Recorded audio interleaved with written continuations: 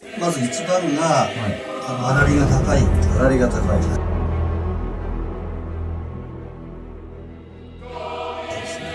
大体70% ブランド品なんです。ブランド品。はい。仕入れが1000円。で、えっと、ヴィトンとかエルメスとかは販売してるのが大体3000円から5000円ぐらい。もちろん9割もあります？9割もある。9割。その値段のグラス。9割ですが2000円で買って2万円で売るみたいな。感じ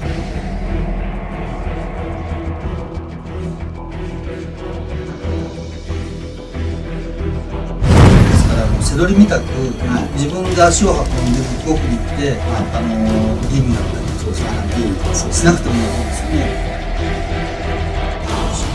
宝商品が自分の方に欲しいなって思ったらお宝ばかりです喜んでやせるあり7割になる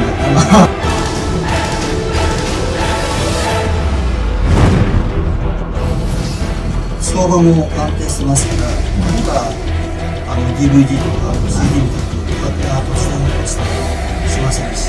全部ティファニーシルバーアクセだから1000円で買って5000円でそうです。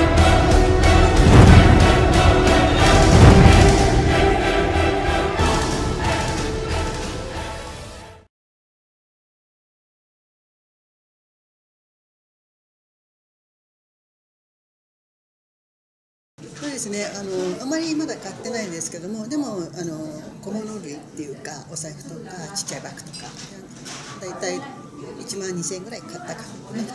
まあ23倍ぐらいで売れるっていう大体感じですね。あの売れるものがあの一般のものよりブランドものの方が確実に売れるっていうのを経験してるのでそれで今回この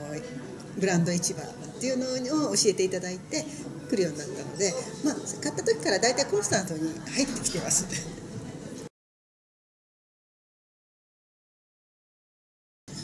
宝探しみたいな感じであの意外とこう山で買う場合とか一点一点買う場合があるんですけど一点一点の場合は結構高級品が多いんですけども山になってるといいものもあるしなんかちょっとこういろんなあの傷があったりとかなんかこう、まあ、ゴミとは言わないですけどもそういったものも混じってるのでそれもほとんど全部買うってことなんですけどその中に意外となんかこれはっていうものが見つかると嬉しいっていうそういう楽しみがあります。最初って本当に分かんないだらけなのでどういう風な感じになってるのかとか何時に始まってどういう形でやっていくのかっていうのを、まあ、スカイプであのいろいろ聞きましてでちゃんとこう聞いて教えてもらうとなんか安心していけるのであの一人で行って分からないで行くよりはすごくこういろんな知識もついていきますのですごくそれは良いあの良かったと思ってます。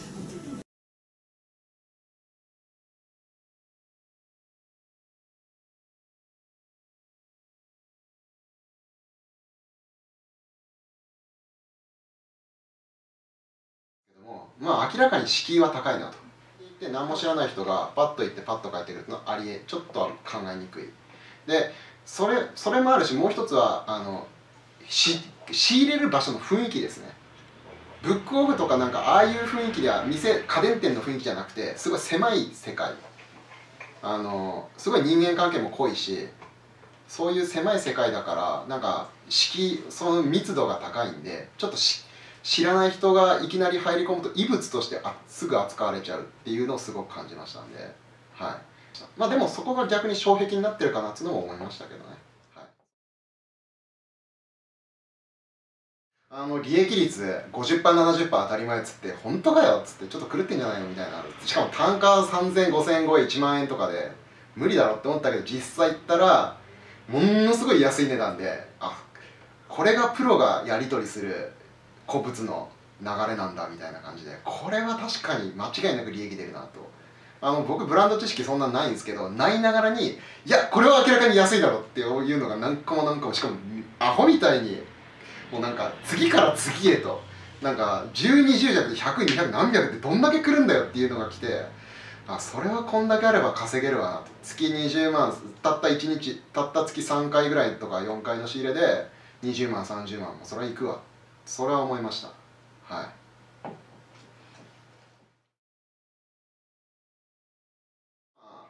まあもともと最初見せていただいた時9800円のコースしかなかったんですよねむしろ。ですけどあのこれはいかにもだからその代わりもちろんサポートも何もついてなくて情報だけっていうナレッジだけだったんですけど僕はざっと見ていった感じとしていやこれはキュッパチでもらってもこれ体感の人成果出ないまま帰ってくるでしょ。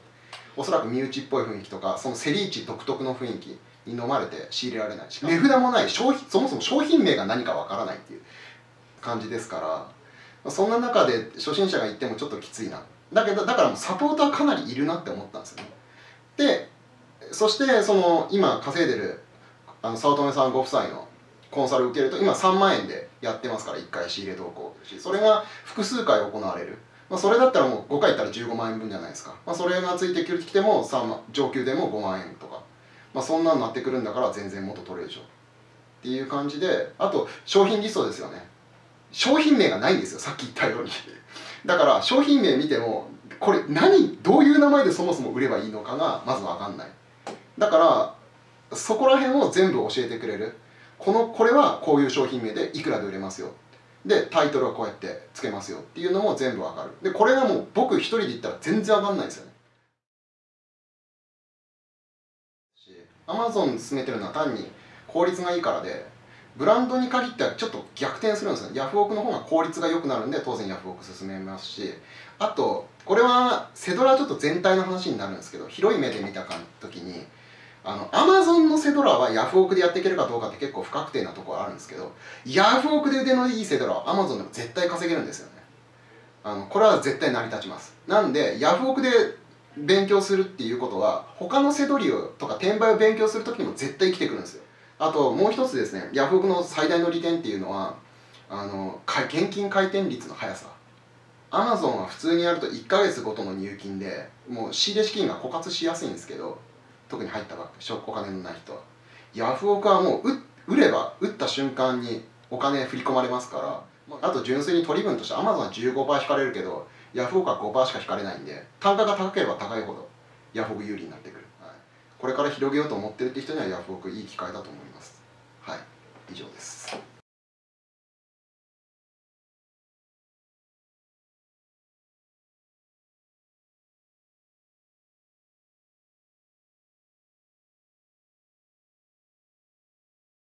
僕が実際に行ってみて感じたのはやっぱり今までにあるセドリとか転売のジャンルの概念はもう完全に覆すというかまあ初めてだったっていうのももちろんあるんですけどもかなり僕もジャンルは CDDVD ゲームおもちゃフィギュアと知ってるんですよ。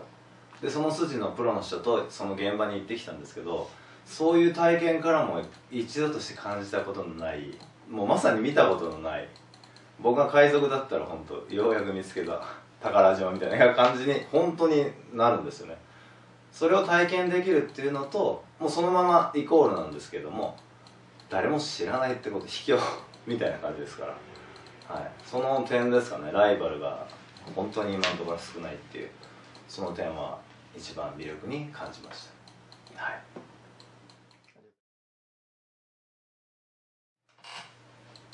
えー、僕はアマゾンを中心に背取り転売の方をしてきたのでちょっとその早くすぐ売れる販売できるってことちょっと疑問だったんですけどもそれもあのノウハウ提供者の方からちゃんとお話を聞いて実践しているところとかパソコンの画面を見せて実際にいただいたんですけども本当に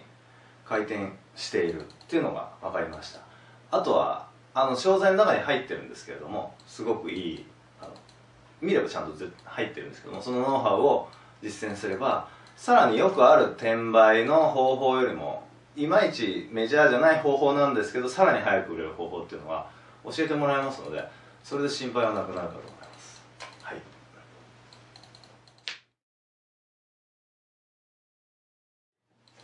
僕はもちろんあの両方のコースを全て内容把握して見せてもらったんですけどもまずナレッジコースの方はとりあえず知るだけですね。知識の状態。です。知りたいだけならまあ軽く読み物として。うんもっと言うと立ち読みって感じですかね。へえすごいぐらいですね。でも90%以上の人はやらないってよく言われるじゃないですか。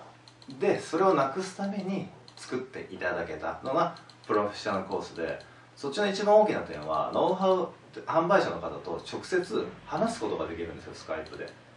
そうするともう絶対に行動できる。詰まる前に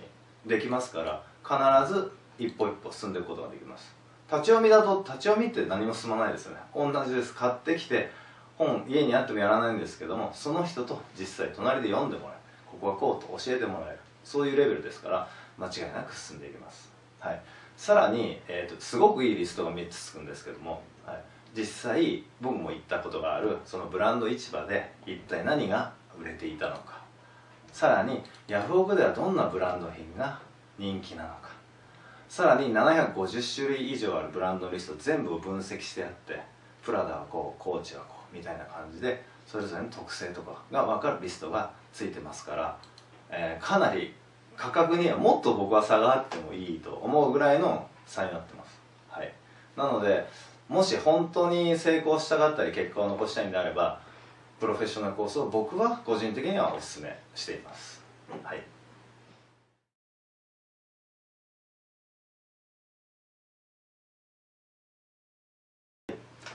僕は実際に初めてブランド品の市場に行かせてもらったんですけどもその時に本当に感じたのはもうこれからはツールとかを持てば1億全セドラ同じ実力時代が来るなと思ってたんですけれども今このブランド品市場に行けばその今まで使ってたツールとかスマホのがもう全然もう無価値になるような状態ですのでこれからワンステップ上を目指すセドラーさんもすごくおすすめですし、えー、初め初めてやる人でもうすごい先を行ってるセドラさんがいるから今更ダメなんじゃないかっていう不安を抱えてる人にもそれがなくなるというスタートラインを一斉に一瞬できる素晴らしいノウハウですのでぜひ今本当このチャンス逃さずに手にしていただければ、うん、明日一日がどんどん変わっていくんじゃないかなと思いますからぜひ勇気を出して、はい、手にしてもらえればと僕はお勧めしています。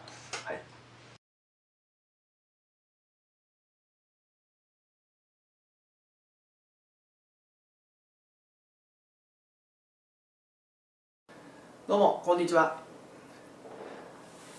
ハンドルネーム上丸こと株式会社 EMAC ジャパン代表取締役の亀山隆夫です。この度ですね早乙女さんのアンティークブランド転売のノウハウブーマを発売になるということで推薦もさせていただきたいと思います。アンティークブランドの転売というのをですね、えー、このノウハウでは、えー、語った書かれているわけなんですけども、えー、2014年ですね、えー、セドリオークションで